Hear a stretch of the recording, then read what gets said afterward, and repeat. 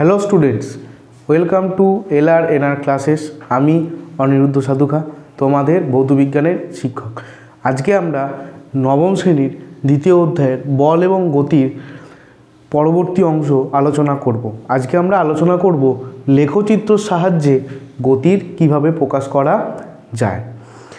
দেখো, লেখচিত্র সাহায্যে গতির প্রকাশ করতে গেলে আমাদের প্রথম যেটা জানতে হবে যে লেখচিত্র অর্থাৎ আমরা করেছি টু ডি অর্থাৎ দুটো অক্ষ, একটা হচ্ছে এক্স অক্ষ, একটা হচ্ছে ওয়াই অক্ষ।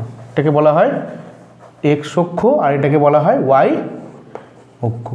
এই এক্স অক্ষ এবং ওয়াই অক্ষ বরাবর আমরা কি রাখব, সেটাকে আমাদের আগে জানতে হবে। লেখচিত্র সাহায্যে প্রকাশ করার সময় সর্বদা ওয়াই অক্ষ এক্স অক্ষ বরাবর আমাদের সময়কে রাখতে হবে। সময়। সময় অক্ষ বরাবর গতিশীল হবে, অর্থাৎ টি সময়কে আমরা অক্ষ বরাবর রাখব এবং সময়ের সাপেক্ষে বেগের কি পরিবর্তন হচ্ছে সেটা আমরা মাপবো, অর্থাৎ ওয়াই অক্ষ বরাবর থাকবে আমাদের বেগ ওয়াই অক্ষ বরাবর আমাদের বেগ থাকবে। এবার বিভিন্ন ক্ষেত্রে আমরা দেখব যে এই সময়ের সাপেক্ষে বেগের কী কী কীরকম কীরকম লেখচিত্র পাওয়া যায়। তো প্রথমেই আমরা দেখব যে সমবেগে গতিশীল কোনো কণার বেগ এবং সময় লেখচিত্র কীরূপ হয়? সমবেগে গতিশীল কোনো কণার সমবেগে গতিশীল কণার ভিটি লেখচিত্রর প্রকৃতি কীরূপ? দেখো, সমবেগ বলতে কি? সমবেগ বলতে বোঝায় যে কোনো একটা বস্তুর বেগটা ধ্রুবক, অর্থাৎ সময়ের সাপেক্ষে বেগের কোনো পরিবর্তন হয় না। তো আমি যদি তোমাকে একটা উদাহরণ দিই যে বেগ আর সময় এইভাবে পরিবর্তিত। যখন সময়, মনে করো পাঁচ সেকেন্ড, আমি ধরে নিলাম পাঁচ সেকেন্ড, সেই সময় বেগ তোমার পাঁচ।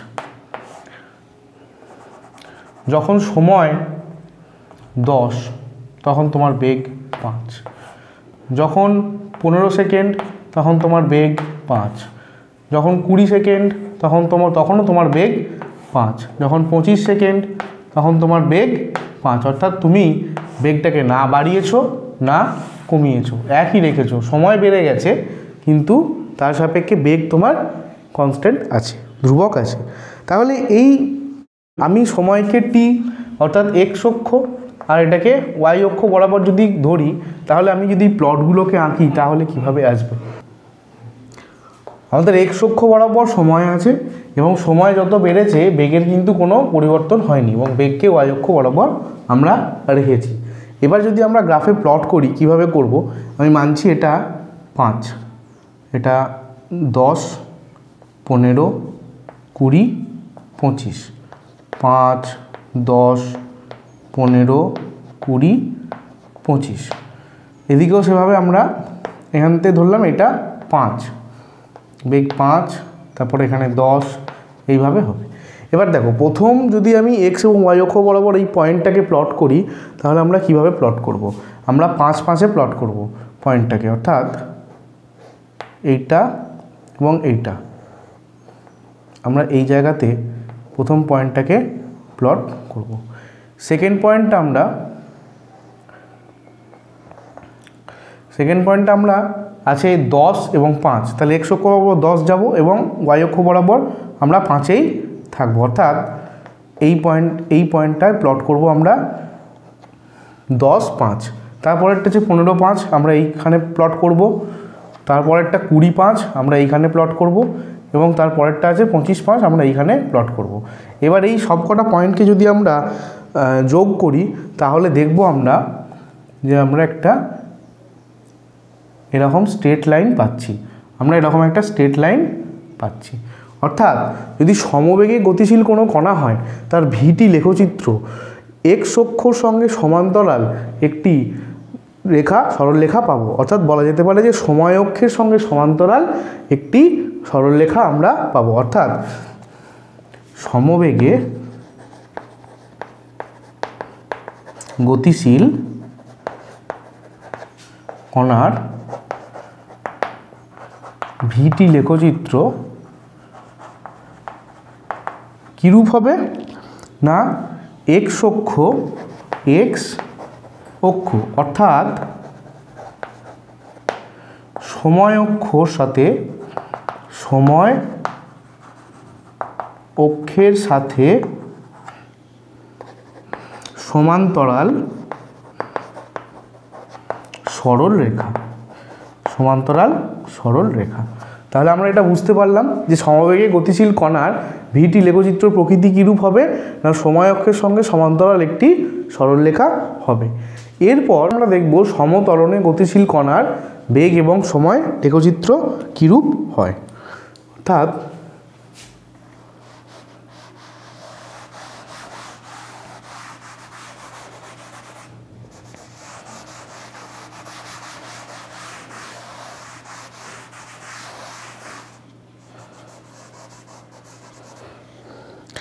এবার আমরা দেখব সমতরণে। সম ত্বরণে গতিশীল কণার অর্থাৎ আমি যদি এইভাবে ভাবতে চাই যে বেগ এবং সময়। সময় যখন জিরো, বেগও তখন জিরো। সময় যখন পাঁচ, তখন বেগ, আমি ধরলাম দুই। সময় যখন দশ, তখন বেগ চার। সময় যখন পনেরো, তখন বেগ ছয়। সময় যখন কুড়ি, তখন বেগ আট। সময় যখন পঁচিশ, তখন বেগ দশ। অর্থাৎ দেখো, নির্দিষ্ট সময়ের অন্তরালে, অর্থাৎ পাঁচ সেকেন্ড পরে বেগ কিন্তু দুই দুই করে বাড়ছে। অর্থাৎ কণাটি সমতরণে আছে। তাহলে এর লেখচিত্র কীরূপ হবে? এক্স অক্ষ এবং ওয়াই অক্ষ একইভাবে আমরা ওয়াই অক্ষ বরাবর বেগকে রাখব আর এক্স অক্ষ বরাবর আমরা সময়কে রাখব। এবার দেখো যদি আমরা প্লট করি এইগুলোকে তাহলে আমি ধরছি এটা হচ্ছে জিরো জিরো জিরো জিরো, পাঁচ, দশ, পনেরো কুড়ি এবং এখানে আমাদের পঁচিশ এবং এইভাবে তিরিশ এইভাবে চলে যাচ্ছে। এবং এদিকে বেগ এখানে zero. One, two, three, four, five, six, seven, একটু বাড়াতে হবে। Seven,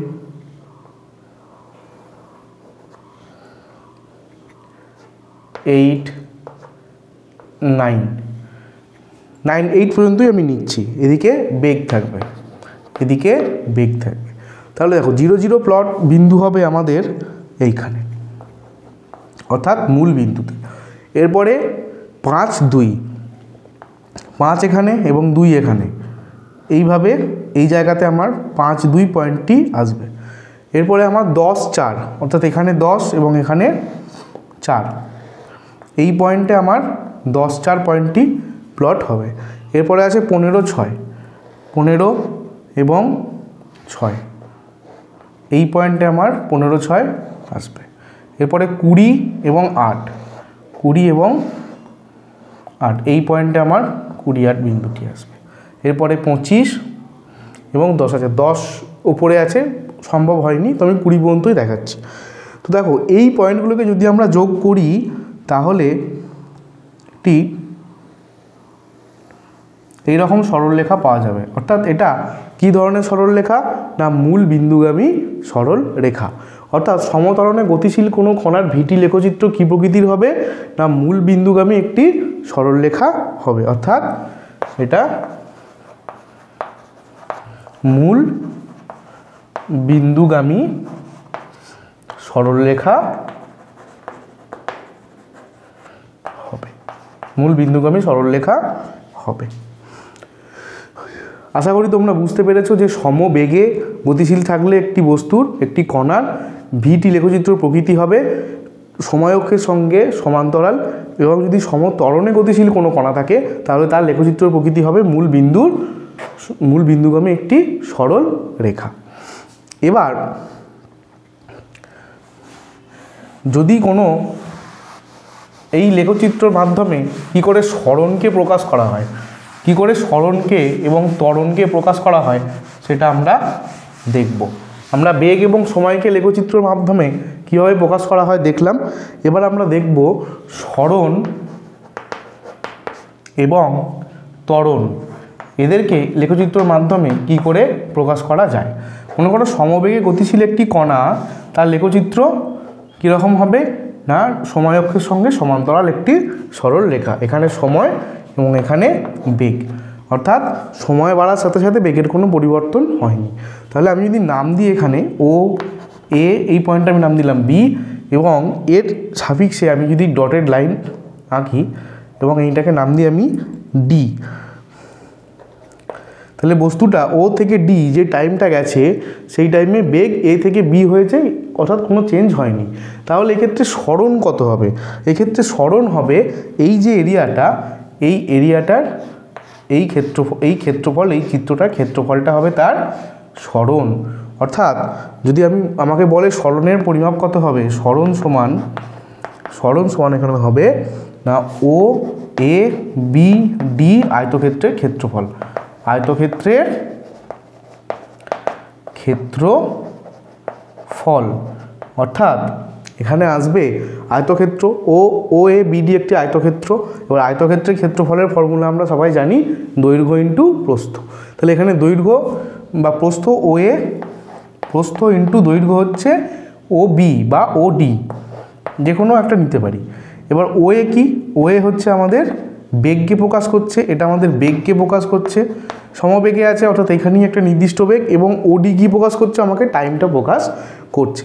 এখান থেকে আমরা বলতে পারি স্মরণ এস সমান ভি ইন্টু টি বা S is equal to V T এটি হলো S is equal to VT লেখচিত্রের মাধ্যমে প্রমাণ। অর্থাৎ, যদি আমরা ভিটি লেখচিত্রর মাধ্যম দিয়ে স্মরণকে প্রকাশ করতে চাই, তাহলে আমাদের অবশ্যই যে ক্ষেত্রটি হবে, তার ক্ষেত্রফলটাই হবে আমাদের স্মরণের পরিমাপ এবার ত্বরণের ক্ষেত্রে কি করব? আচ্ছা এই এই ক্ষেত্রে এই ক্ষেত্রে ত্বরণ কত হবে? দেখো, সমবেগে গতিশীল একটি বস্তু আছে, যার ত্বরণ সবসময় শূন্য হয়। অর্থাৎ, ত্বরণ মাপতে গেলে আমাকে সমতরণে একটি গতিশীল বস্তু নিতে হবে। তো সমতরণে গতিশীল বস্তুর ক্ষেত্রে লেখচিত্র কীরকম হয়? মূল বিন্দুগামী একটি সরল রেখা। এদিকে বেগ এবং এদিকে সময়। এদিকে সময় এবং এদিকে আমাদের বেগ। বেশ। এবার এখানে নাম দিলাম ও এই পয়েন্ট নাম দিলাম এ এবং এই সাফিক্সে যদি আমি ডটেড লাইন নিচের দিকে টানি, তাহলে এটাকে আমি সি নাম দিই। তাহলে ত্বরণের পরিমাপ করা হয় ত্বরণ সমান হয় এই ও এ সরলরেখার নতি ও এ সরলরেখার নতি, অর্থাৎ ও এ সরলরেখাটি এই এক অক্ষ থেকে কত ডিগ্রি কোণে ওপর দিকে উঠে আছে? তার ট্যানের মান, তার ট্যানের মান। অর্থাৎ এটা যদি থিটা হয়, তাহলে আমরা ত্বরণ সমান বলতে পারি ট্যান থিটা ট্যানের মানকে ট্যান থিটার মানকে আমাদের বলা হয় নতি, সরলরেখার নতি। অর্থাৎ সরলরেখার সরলরেখার নতি দন্ত ন তয়সী নতি। এই নতিকে কীভাবে মাপা হয়? ট্যান থিটার মাধ্যমে। এবার যদি থিটা না দেওয়া থাকে, তাহলে আমরা কীভাবে মাপবো? দেখো, আমরা ট্যান থিটা সমান কি জানি? ট্যান থিটা সমান লম্ব বাই ভূমি। ট্যান থিটা সমান লম্ব বাই ভূমি। এটা যদি না জেনে থাকো, তাহলে জেনে নাও।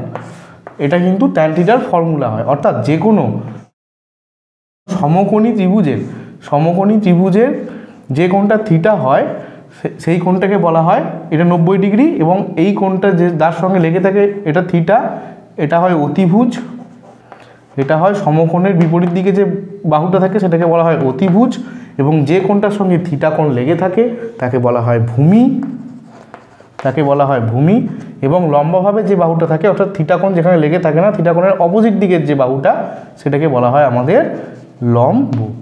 ট্যান থিটা সমান হয়ে যায় আমাদের লম্ব বাই ভূমি। তাহলে দেখো, এটাও একটা সমকোণী ত্রিভুজ। এর সমকোণ কোনটা? এর সমকোণ এইটা।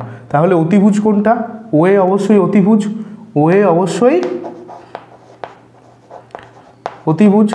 আচ্ছা লম্ব কোনটা? থিটার অপোজিট দিকে যে কোনটা আছে, এই যে বাহুটা আছে, অর্থাৎ এসি এটা হচ্ছে আমাদের লম্ব। আর থিটা সংলগ্ন যে বাহুটা আছে, সেটাকে বলা হবে আমাদের ভূমি। সেটাকে বলা হবে আমাদের ভূমি। তাহলে আমরা এখান থেকে বলতে পারি ট্যান থিটা সমান লম্ব বাই ভূমি, লম্ব বাই ভূমি। এই ত্রিভুজের ক্ষেত্রে, ত্রিভুজ ও এ সি এর ক্ষেত্রে লম্ব কোনটা না এসি লম্ব হচ্ছে আমাদের এসি আর আমাদের ভূমি কোনটা? ও সি ও সি এটা হচ্ছে আমাদের ভূমি। তাহলে তরণ সমান এ সমান আমরা এইটা লিখতে পারি। এসি বাই ও সি তো এইভাবে আমাদের তরণকে মাপা হয়, অর্থাৎ বেগ এবং সময় লেখচিত্রর যে নতিটা হয়, তার পরিমাপই হচ্ছে আমাদের ত্বরণ। তাহলে লেখচিত্রর মাধ্যমে আমরা স্মরণ এবং ত্বরণকে কীভাবে মাপবো, সেটা আমরা দেখেছি। এবার আমরা সামনের পাটে এগিয়ে যাব এবং সামনের পাটে আমরা দেখব এই লেখচিত্রর মাধ্যমে যে তিনটে গতির সমীকরণ আছে তাদেরকে প্রতিষ্ঠা। আমরা জানি গতির প্রথম সমীকরণ গতির প্রথম সমীকরণ V is equal to U plus A T এই সমীকরণটাকে আমরা বীজগাণিতিক পদ্ধতিতে আগের ভিডিওতে সলভ করেছি, এবার আমরা সলভ করব এটাতে, প্রতিষ্ঠা করব আমরা গ্রাফিক্যাল রিপ্রেজেন্টেশনের মাধ্যমে, অর্থাৎ লেখচিত্রের মাধ্যমে। দেখো, যদি লেখচিত্র, অর্থাৎ ভি এবং টি লেখচিত্রর মাধ্যমে প্রকাশ করতে হবে ভি এবং টি লেখচিত্র প্রকাশ করতে গেলে, এর এক্স অক্ষ বরাবর থাকবে সব সময় সময় সব সময়। সময় এবং ওয়াই অক্ষ বরাবর থাকবে বেগ বেগ থাকবে। এবার আমি ধরি একটি বস্তু কণা ধরি একটি বস্তু ইউ বেগে গতিশীল, ইউ বেগে গতিশীল। অর্থাৎ একটা কণা যার বেগ ইউ ছিল, অর্থাৎ আমি ধরি সে একটা প্রাথমিক বেগ ইউতে গতিশীল, অর্থাৎ ইউ বেগটাকে আমি ধরছি এই পজিশানে আছে। তাহলে এইখান থেকে এইটুকুর মান যেটা হবে, সেটা হবে আমাদের ইউ এইখান থেকে এইটুকু বেগের মান যেটা হবে, সেটা হবে আমাদের ইউ ইউ বেগ।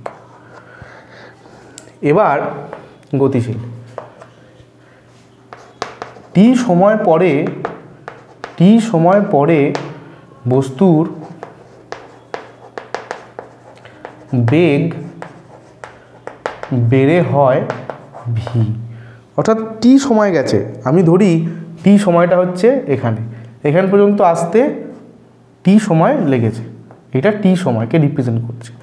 এই টি সময় পরে বস্তুটির বেগ হয়ে গেছে ভি বেগ বেড়ে অবশ্যই ভি হয়েছে। অর্থাৎ ইউ এর থেকে ভি বড় হবে। বস্তুটি যেহেতু ত্বরণে আছে, তাই বেগ নিশ্চয়ই সরলরেখা বরাবর হবে না।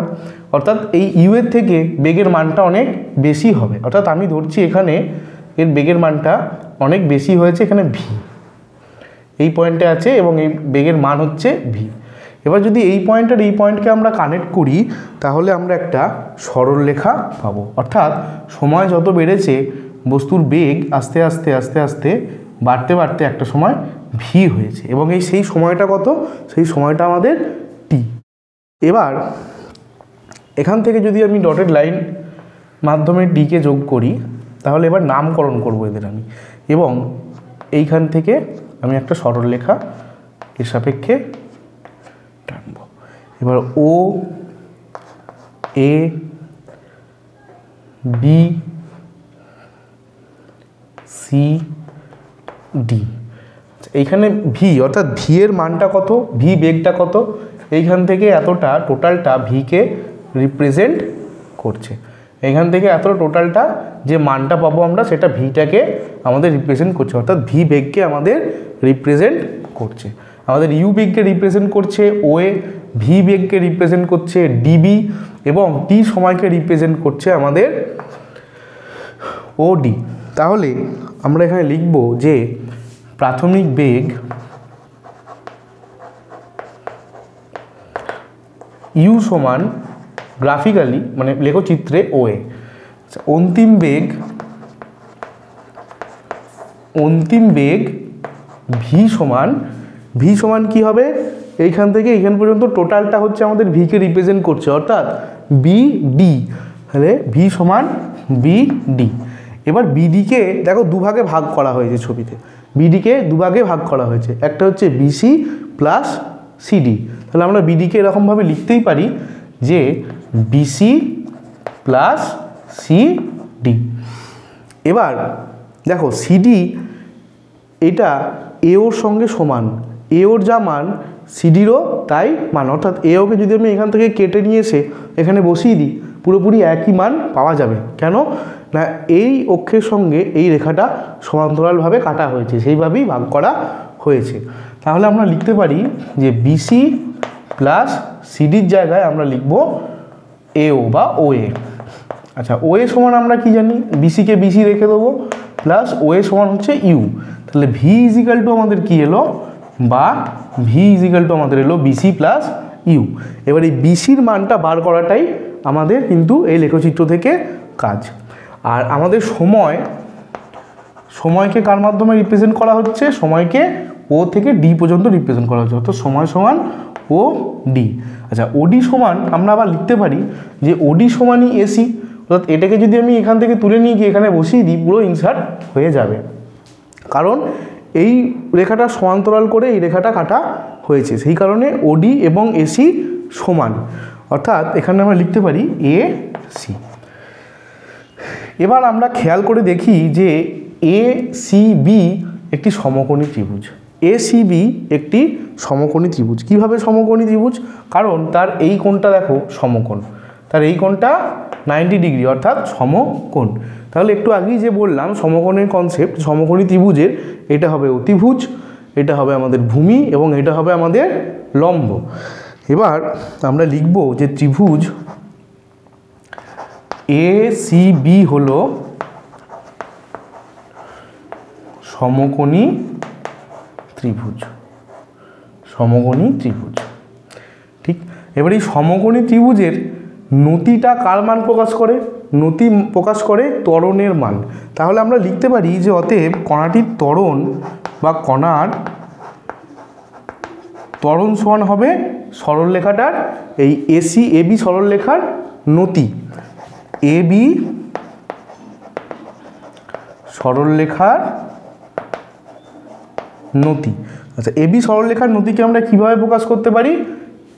BC by AC BC by A C অর্থাৎ এ ইজিক্যাল টু বা A is equal to BC by AC আচ্ছা। এবার বিসির মানটা এখান থেকে বার করব আমি। বিসি বাই এসির জায়গায় আমি কি বসাতে পারি? এসি সমান কি? এসি সমান এসি সমান আমাদের টি তাহলে এসির জায়গায় আমি বসাতে পারি টি তাহলে বা দিয়ে লিখতে পারি যে বিসি সমান বিসি সমান কী হবে? এ আর টি গুণ হয়ে যাবে, অর্থাৎ এ টি তাহলে বিসি সমান কি হয়ে গেল আমাদের? এখান থেকে এইটুকুর মানটা বিসির মানটা হয়ে গেল আমাদের এ টি এ এবার এখানে যে আমাদের এই সমীকরণটা ছিল, এক নম্বর সমীকরণ আমি নাম দিচ্ছি, তাহলে এই এক নম্বর সমীকরণে দেখো বিসির মানটা যদি আমি বসিয়ে দিই, তাহলে আমি ভি এর মানটা পেয়ে যাব। তাহলে এখানে লিখব যে এক নম্বর সমীকরণে এক নং সমীকরণে বিসি এর মান বসিয়ে পাই। মান বসিয়ে পাই। দেখো ভি ইজিক্যাল টু কী হয়ে যাবে? বিসির জায়গায় বিসির জায়গায় আমি এটি বসিয়ে দেবো প্লাস ইউ এবার এটি প্লাস ইউ এটাও যা, বা V is equal to U plus AT এটাও তাই। আর এটাই হচ্ছে আমাদের গতির প্রথম সমীকরণ। ইহাই গতির প্রথম তাহলে এইভাবে আমরা লেখচিত্রর মাধ্যমে গতির প্রথম সমীকরণকে প্রমাণ করতে পারি। এবার আমরা চলে যাব গতির দ্বিতীয় সমীকরণের প্রমাণ লেখচিত্রের মাধ্যমে। এবার আমরা লেখচিত্রর সাহায্যে গতির দ্বিতীয় সমীকরণ প্রমাণ করব। তো গতির দ্বিতীয় সমীকরণ দ্বিতীয় সমীকরণ ছিল আমাদের S equal to U T plus half A T square এই সমীকরণটাকে আমরা করব।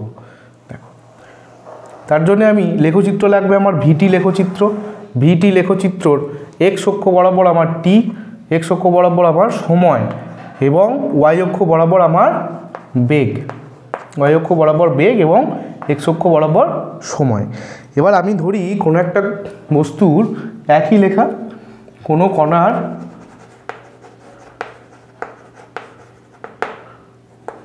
প্রাথমিক বেগ ইউ অর্থাৎ কণাটি একটি প্রাথমিক বেগ ইউতে গতিশীল ছিল। এখানে ইউ এইখান থেকে এর মানটা হচ্ছে আমার ইউ ইউতে গতিশীল। টি সময় পরে, টি সময় পরে কণাটির বেগ বেড়ে হয় ভি ইউ টি সময় পরে, অর্থাৎ আমি এখান থেকে হচ্ছে এটা টি সময়, আমার এখান থেকে এটা রিপ্রেজেন্ট করছে টি সময়কে। টি সময় পরে বেগ বেড়ে কত হয়েছে আমার ভি তাহলে নিশ্চয়ই ইউ এর থেকে বেশি হবে। ভি এর মান ইউ এর থেকে বেশি হবে। আমি এরকম জায়গাতে এইখান পর্যন্ত মানটাকে ধরলাম আমার ভি এখান পর্যন্ত মানটাকে আমি ধরলাম ভি অর্থাৎ এখান থেকে এখান পর্যন্ত মানটাকে আমি ধরছি ভি বেশ। তাহলে আমরা যদি গ্রাফ দ্বারা রিপ্রেজেন্ট করি, তাহলে আমরা কি পাবো? এইরকম একটা সরলরেখা পাবো। অর্থাৎ সময়ের সঙ্গে সঙ্গে বেগটা বাড়তে বাড়তে গেছে। এরপরে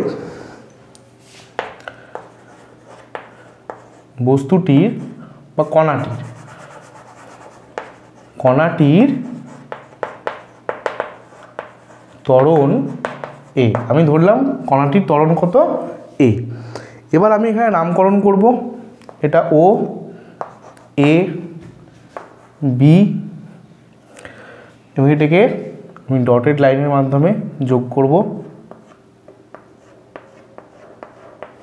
এবং এইটাকেও এর সমান্তরালভাবে ডটেড লাইনের মাধ্যমে আমি যোগ করব। সি এবং এখানে ডি এবার আমাদের গতির দ্বিতীয় সমীকরণে আছে স্মরণের পরিমাপ। তাহলে আমি স্মরণকে যদি মাপতে চাই, তাহলে তার আগে আমি লিখে নেব যে এখানে প্রাথমিক বেগ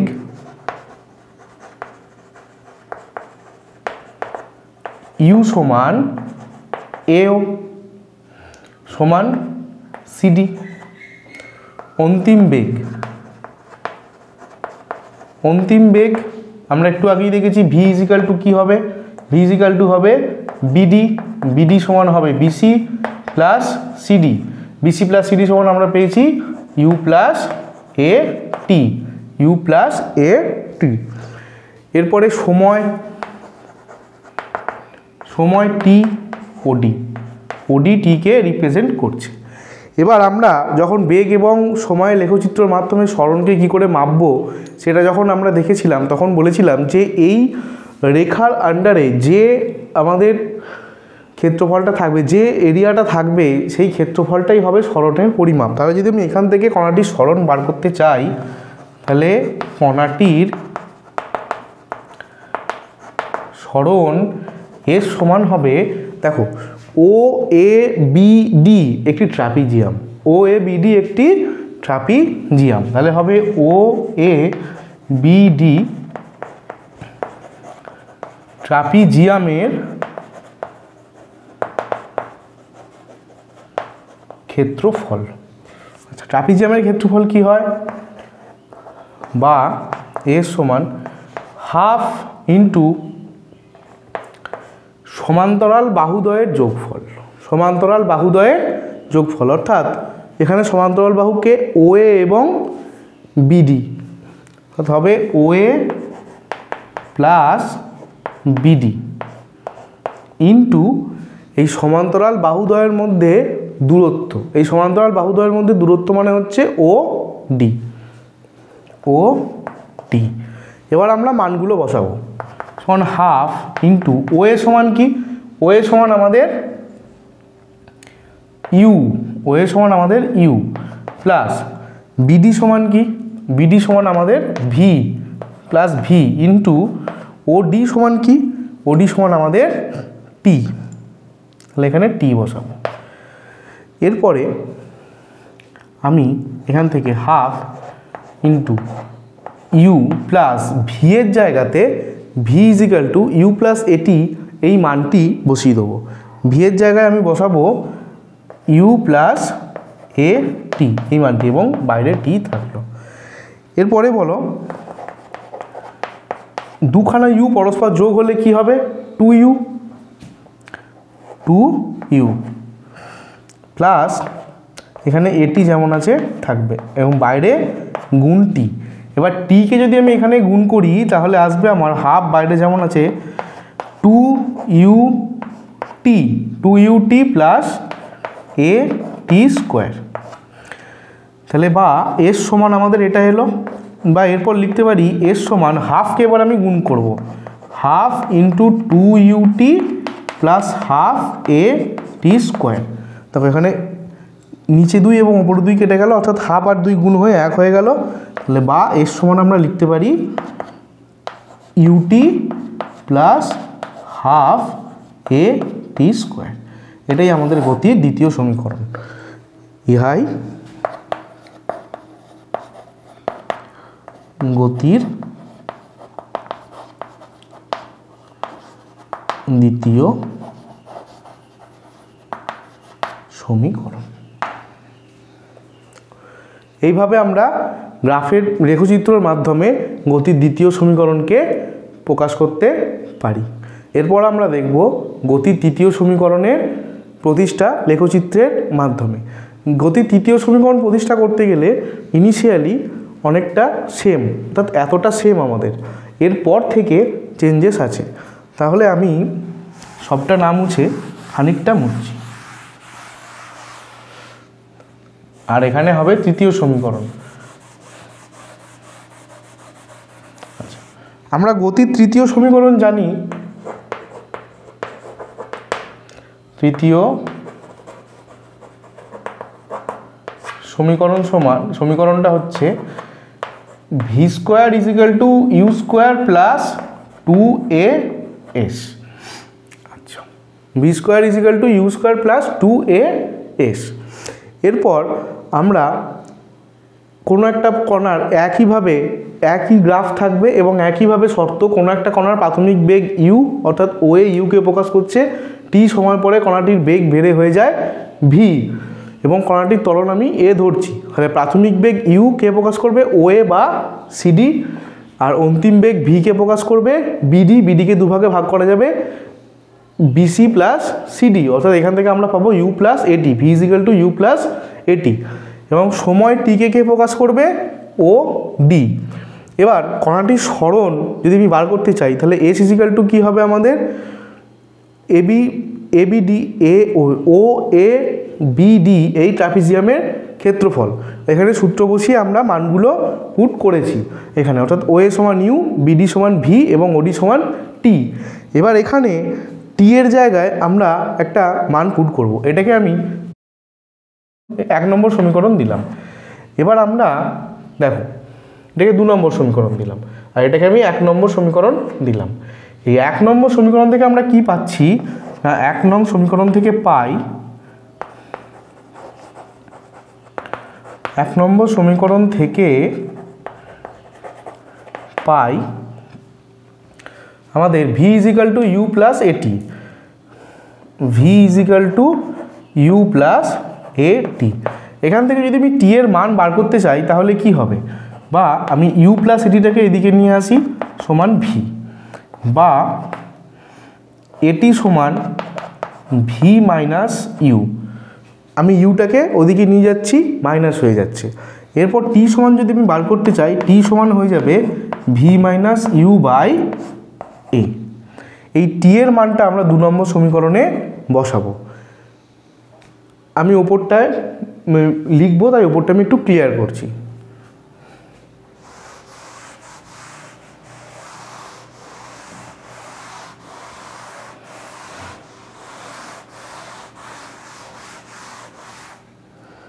এখানে আমাদের বেগ থাকবে। এবার দুই নম্বর সমীকরণে টি এর মান বসিয়ে পাই। টি এর মান বসিয়ে পাই। কি পাবো? দু নম্বর সমীকরণ ছিল আমাদের যে S equal to half U plus V into T এই টি এর জায়গায় আমরা এখন U plus V V minus U by A এই মানটা বসাবো, মাঝখানে ইন্টু বা এর সমান। বা এই এটাকে আমি এদিকে নিয়ে চলে আসব এ এস এর সঙ্গে এস গুণ হয়ে যাবে। সমান এখানে থাকছে হাফ দেখো ইউ প্লাস ভি যা ভি প্লাস ইউও তাই। তাহলে আমি লিখতে পারি V plus U into V minus U এই V plus U into V minus U এটাকে আমরা A square minus B square সমান কী হয়? A plus B into A minus B এই ফর্মুলাতে, দেখো A plus B into A minus B তেমনই A square minus B square হয়, তেমনই V plus U into V minus U তেমনই আমরা এটাকে লিখতে পারি যে বা এ এস যেমন আছে এখানে থাকুক, হাফ হাফ যেমন আছে থাকুক, আমরা লিখতে পারি ভি স্কোয়ার মাইনাস ইউ এর স্কোয়ার। এরপরে এই যে নিচে দুইটা আছে, এর পরের স্টেপে এই যে নিচে দুইটা আছে, এইটাকেও আমি এদিকে গুণ করে দেবো। বা দেখো, two A S equal to V square minus U U's square. এরপর আমি V square minus U's square এই টোটালটাকে এদিকে নিয়ে আসব এবং টু এসটাকে ওদিকে নিয়ে যাব। বা V square minus U's square সমান টু এ এস বা V square is equal to two two A S আমি ইউ স্কোয়ারটাকে ওদিকে নিয়ে যাই, কী হয়ে যাবে? প্লাস হয়ে যাবে। প্লাস ইউ এর স্কোয়ার আচ্ছা two A S plus U square মানেও যা, আর U square plus two S মানেও তাই। তাহলে আমি লিখতে পারি বা V square is equal to U square plus two A S আর এটাই আমাদের গতির তৃতীয় সমীকরণ।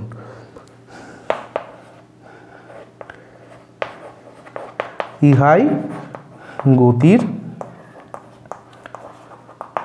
তৃতীয় সমীকরণ। তাহলে এইভাবে আমরা লেখচিত্রের মাধ্যমে গতির তৃতীয় সমীকরণকে প্রকাশ করতে পারি। ওকে স্টুডেন্টস আজকের ক্লাস এখানেই শেষ।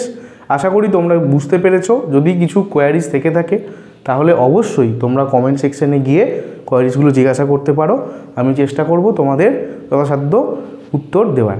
এবং এই চ্যাপ্টার সংক্রান্ত যদি তোমরা কিছু এমসিকিউ এসিকিউ এই টাইপের মেটেরিয়ালস পেতে চাও, তাহলে অবশ্যই গুগল প্লে স্টোরে যাও এবং আমাদের অ্যাপটি এলআর এনআর ক্লাসেস তোমরা ডাউনলোড করো। সেখান থেকে তোমরা মেটেরিয়ালস পেয়ে যাবে। আজকে এই পর্যন্তই, এর পরবর্তী অংশ আমরা নেক্সট ভিডিওতে আলোচনা করব।